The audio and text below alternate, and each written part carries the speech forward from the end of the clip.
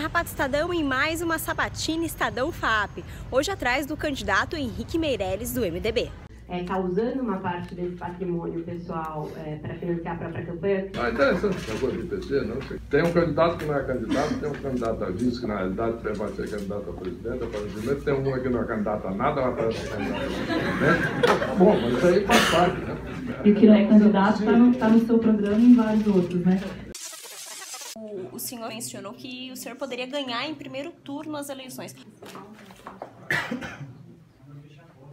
O senhor ainda acredita nisso, mesmo tendo aí uma, uma, um baixo índice de intenção de votos? Não há dúvida, porque a população não me conhece ou não me conhecia, porque eu nunca fui candidato a presidente da República. Eu tenho condições, agora com excelente programa eleitoral, temos uma vitória consagradora, até no primeiro turno, quem sabe. Mas eu disse que era a única dúvida, se ia ganhar no primeiro turno ou no segundo.